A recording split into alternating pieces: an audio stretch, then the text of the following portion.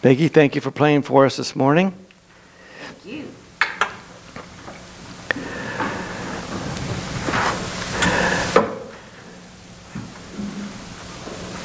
Yesterday, if I met you guys, it would have been very nice for me, especially if I was in Israel, to say Shabbat Shalom.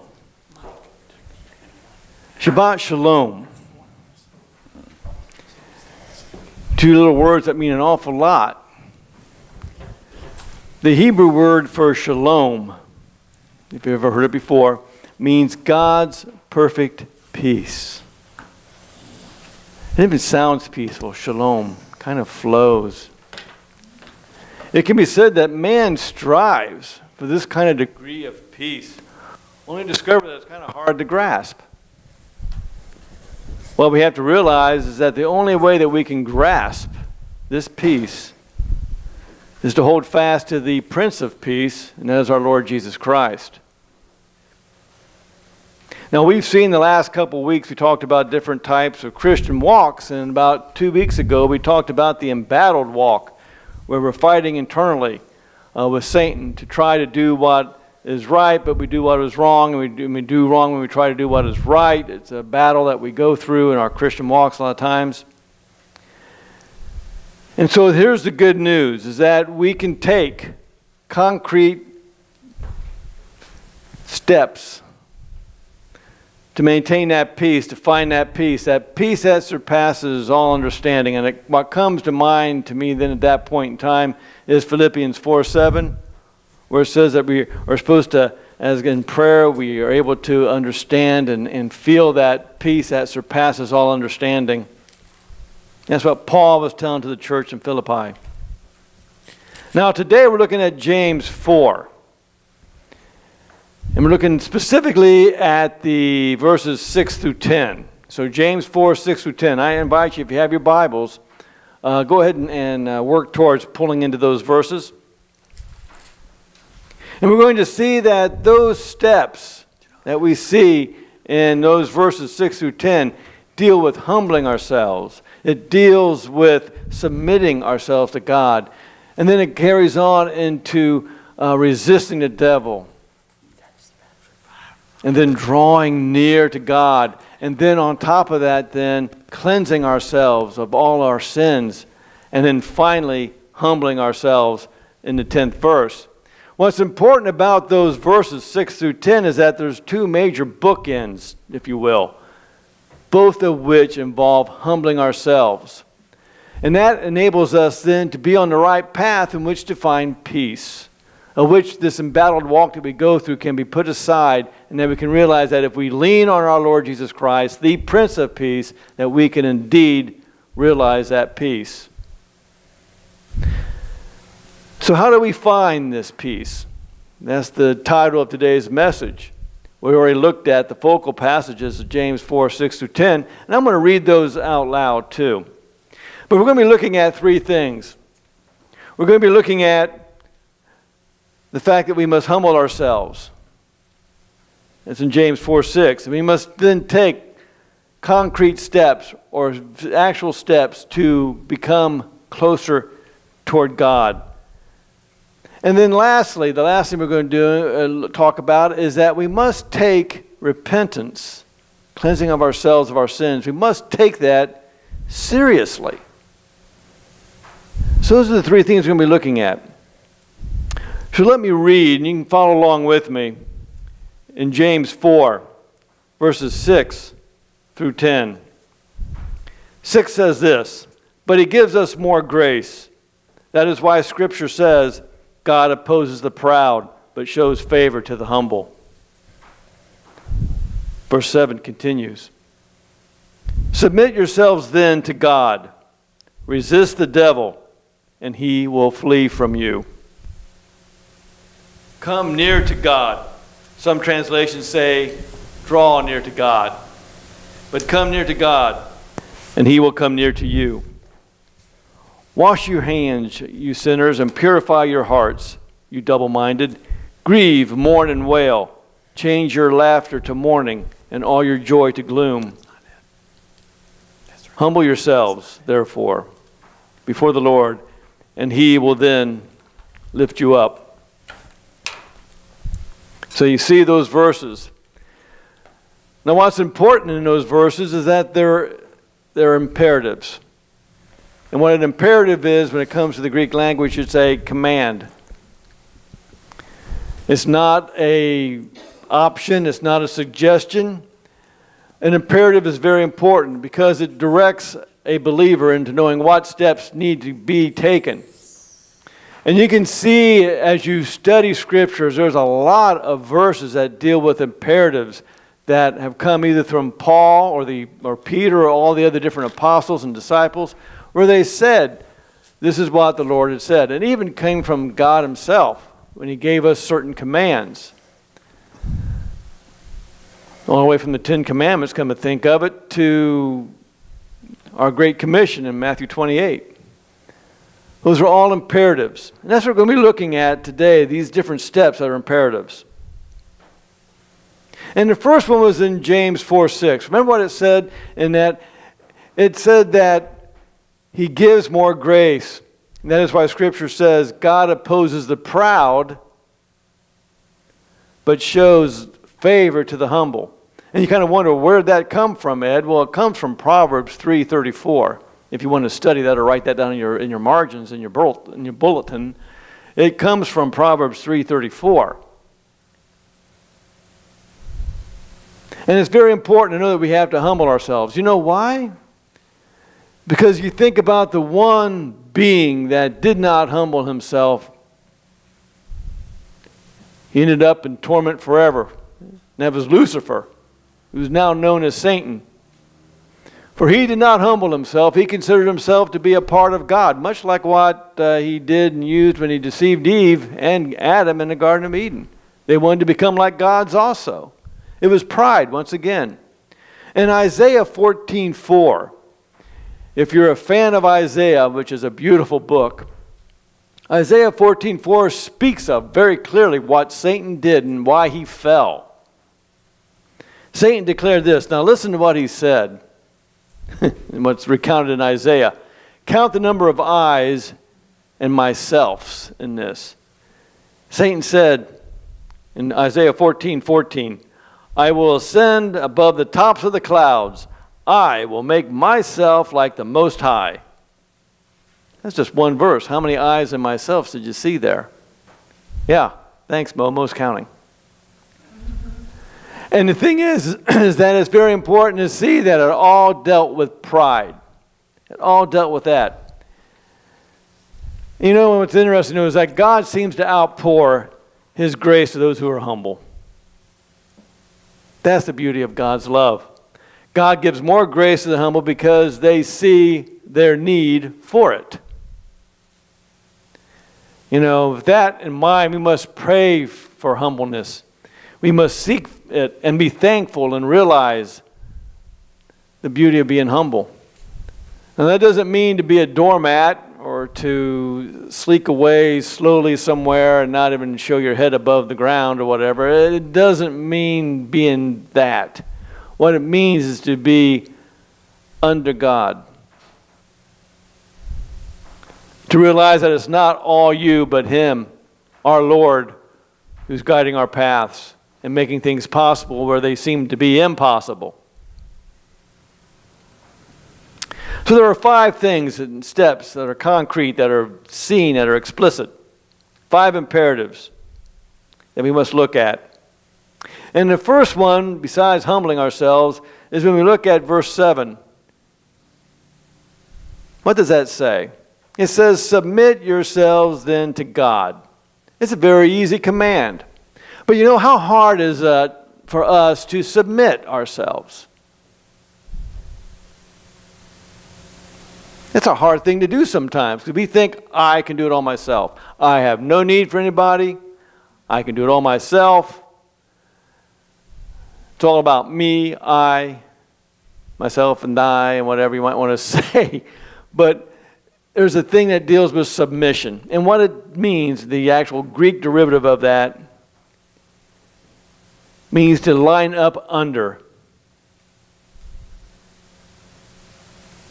And it's interesting. What did Jesus do? That think about it, he was God on earth incarnate. And when he was facing the most dire circumstance of his entire time on earth in the Garden of Gethsemane, what did he say to God the Father? Did he say, I'm not doing this. I have no need for this. Let man's sin be man's sin. I'm not going to take all those sins on my shoulder just for man.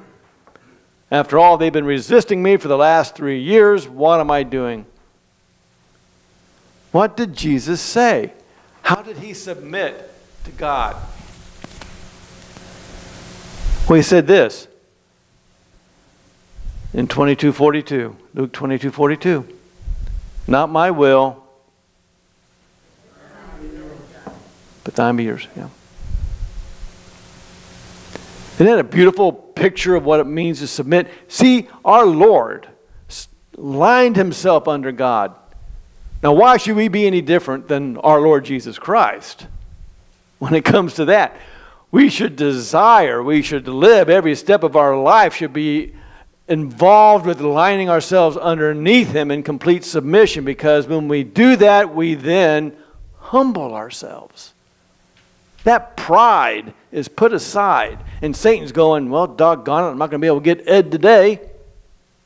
He might tomorrow. But as long as I humble myself,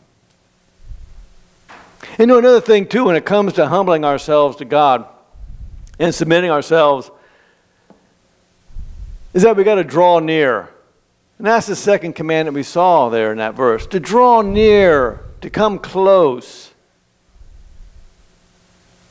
And that means when we draw near to God, it means that we come to Him by grace.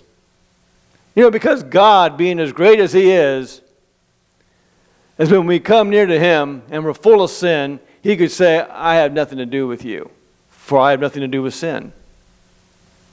But you know,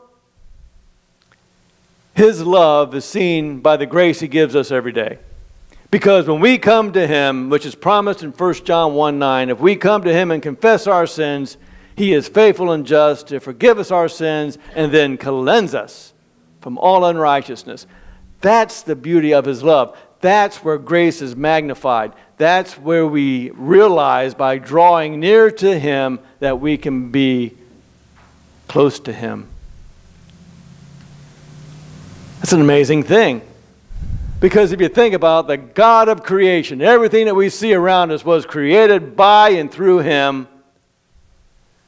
And He allows us, with the sin that we have, through His love and grace, to draw near to Him. When's the last time you drew near to Him? Hopefully, it was this morning. Hopefully, it was on the way over to church. Hopefully, it's 24 hours a day. Well, six or seven or eight hours because you're asleep. But the thing is, it's important to draw near. Because if you think about it, with your spouse, it's kind of hard to talk to your wife or your husband when you're in the living room and they're in the kitchen. Unless it's all one in the same room, but still, it's tough to do that. You have to draw near to each other in order to talk with each other, to relate with each other. It's not any different than relating to our Lord Jesus Christ in prayer. We draw near to him. You know, Paul said this. He warned the church in Ephesus in Ephesians 2:13. He goes, "In Christ Jesus you were once far off, but have been brought near by the blood of Christ." And that's what we always have to remember when it comes to humbling ourselves, submitting ourselves, and drawing near to Him is that we're able to do those imperatives mainly because of the blood of Christ that was shed on the cross for our sins, for all mankind, forevermore. That's the gospel. Because of that miracle, the death and resurrection of our Lord Jesus Christ, we were made righteous. We were justified. The debt was paid sin was canceled. And we are made right with Him so that when we do leave this earth, we can then simply transition to glory. That's the beauty of the gospel.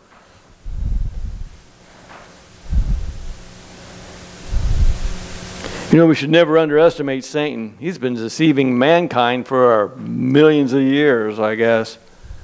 That was his main deal. He wanted to deceive and lie. That's what he does best.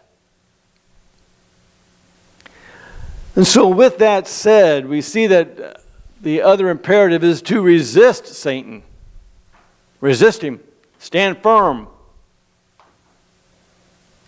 Tell him, no, this is not going to happen to me today. Stand firm in your faith. Resist him. And what's the promise there? This is one of the things that we see in these verses. There's a promise in this particular snippet. He says in James, what did it say? Oh, resist the devil and he will flee. Isn't that a beautiful thing? Really don't want anything nasty sticking around, do you? Who else did that?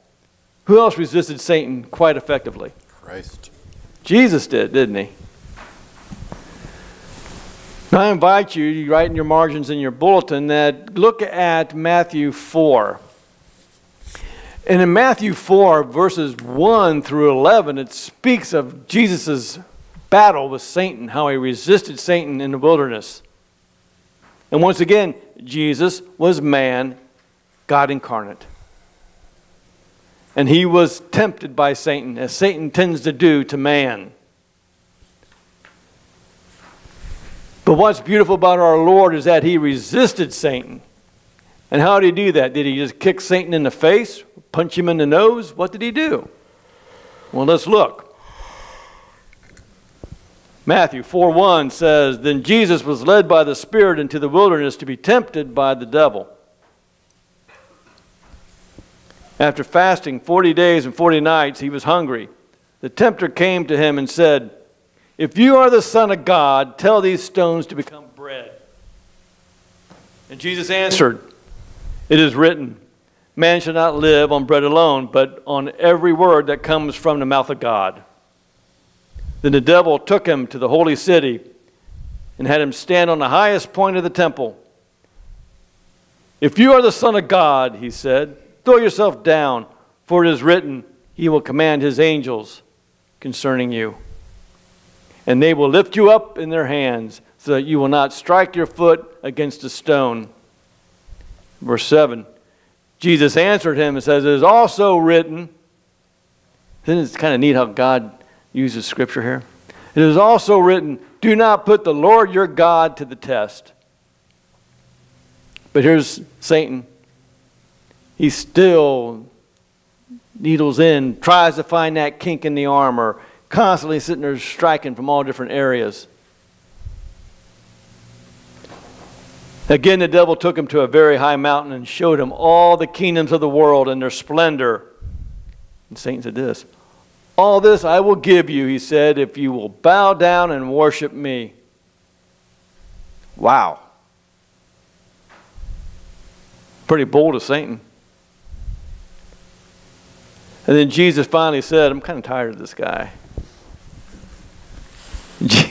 And Jesus said to him in verse 10, Away from me, Satan, for it is written, Worship the Lord your God and serve him only.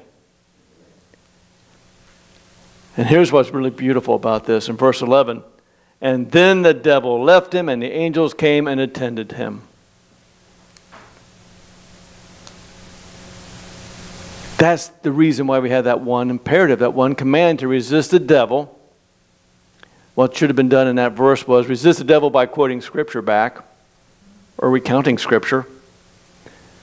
But I love the fact that there's a promise there that if I resist the devil, he will flee from me just like he did to Jesus. And he'll tempt you. We're, all mankind, temptation will come by virtue of the curse that was laid upon us in the Garden of Eden by Adam and Eve. That's our nature. But you know, who's inside us now in our hearts are stronger than what's in this world. Satan's of this world. It's pretty much all he can do is just be in this world, but he cannot destroy what's inside us through the Holy Spirit.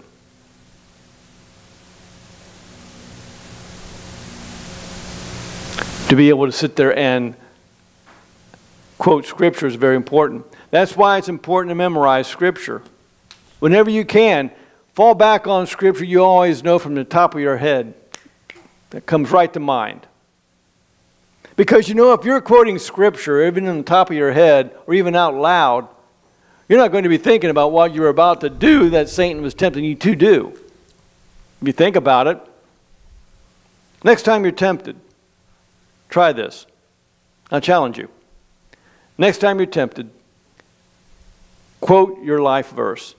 The verses you always come to all the time. And say, Holy Spirit, give me the power. Lord Jesus, give me the strength to resist this temptation. And then quote that scripture. And you're going to see and find that what you were thinking about doing that might have been gratifying or satisfying to the fleshly desires that are a part of being a human being will then vanquish. Satan will then flee. It's promised in Scripture. If it's in Scripture, it's true. It's not some false promise. It's a true, illicit, complete, beautiful promise. That's why it's been brought out this morning. To understand that if you resist Satan, he will flee from you.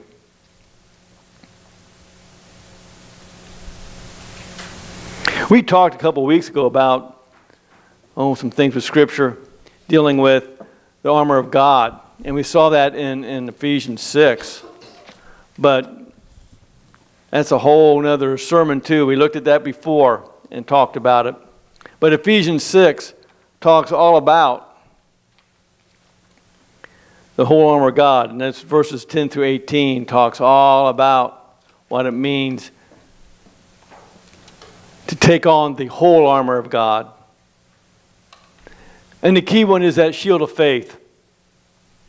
And when you look at a shield of faith, when you look at a Roman shield, they were made very, very strongly, and they were made to the point where you can actually resist and, and, and fight off the fiery darts that came into it from the enemy. That's what they're like. That's what those shields are about. Another stepping stone that we want to look at when it comes to finding peace, and this is very important, is that we need to cleanse our hands. It said in the, uh, I'm looking at the verse here, if I can find it. Yeah, it's right there. Come to near to God, come near to you. Wash your hands. There it is. It's in verse 8, kind of hidden in there. It says, Cleanse your hands or wash your hands, you sinners, and purify your hearts, you double minded. So, what does it mean to cleanse your hands? It means to wash your hands.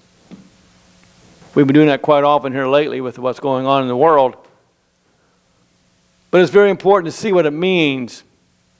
Clean hands and a pure heart are necessary to draw near to God. One of the key things that keeps prayer from being answered is unconfessed sin. Did you know that? Unconfessed sin is what stands in the way of prayers being answered. And so, what that means is that when you come to pray to God and you've done your praising God, which is the first part of it, the second thing that happens after you praise God and adore God comes confession. And you don't have to do like it when I was a little Catholic saying, Well, God, I've, I lied six times last week and, and hit my brother in the face two times last week. It, it's nothing like that. It deals primarily with keeping in mind what you had done to stray away from God and ask Him for forgiveness for that straying away and then turn back, which is repentance. It's easy to ask for forgiveness, but you know what's hard? Repentance. That's what's hard because that's a complete turnaround from where you're at. If there's a sin that you habitually go to, repentance might not be taken hold as much as it should. In other words, the seriousness of it might not have taken into your mindset of what it means to repent. And this might make some people uncomfortable right now. Good. It's supposed to. But the thing is, is that to repent can't be done on our own power. To repent you have to realize and lean back on the Holy Spirit to give you the power to repent, to turn, It's a complete turning. And the way that you can turn and steer that boat to where it's supposed to go is by having that anchor pulled up, having that rudder moved by the Word of God to the right direction. Once again, that's why it's important to open your Bible, to understand what you're reading, to sit there and take it in full context of what you're reading. And not little snippets, but the whole thing. That's why I said before, when you are reading Scripture, just don't take one verse. Look two verses ahead, look two verses behind. That gives you the full breadth, the full context of what Jesus was saying in that Scripture at that time.